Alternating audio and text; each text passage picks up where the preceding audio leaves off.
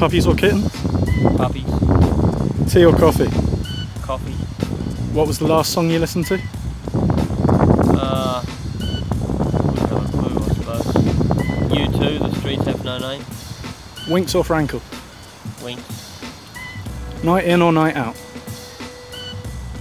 not out. Favourite food? Uh, chili mud crab.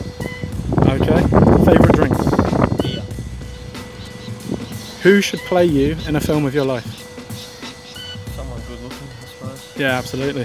Finally, Marmite, love it or hate it? Can't stand